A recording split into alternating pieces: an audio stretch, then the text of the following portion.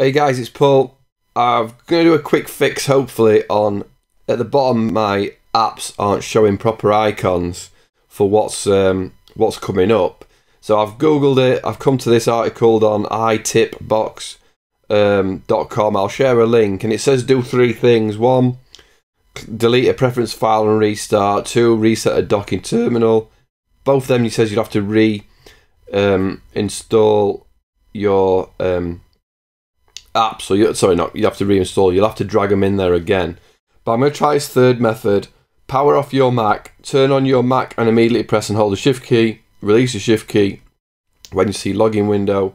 Several system cache files will thing. The Mac's considered relatively stable. There are still some minor errors. So I'm going to start it in safe mode and see if that fixes it. Right. So that's the first thing I'm going to do. So I'm going to shut my Mac down and uh, switch it back on, press shift. Obviously, I can't record it while I do it. Um, yeah, I wish I could do it on my phone, couldn't I? Could record on my phone, but uh, you'll understand. I'll explain afterwards, alright? So, hold on.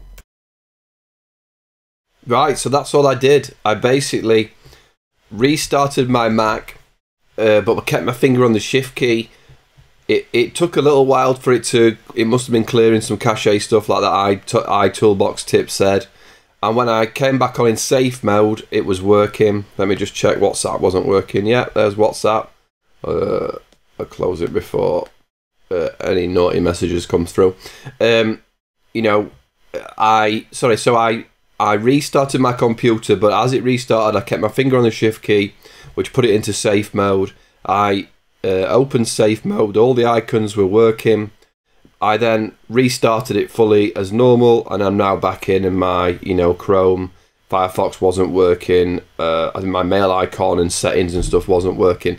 So thanks to iToolbox tip, um, that worked. The the easiest option worked.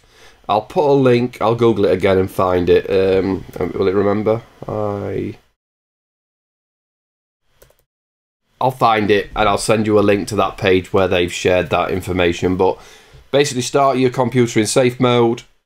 It'll work. Hopefully, it'll work, and then restart it. Hope this helps, guys. Cheers.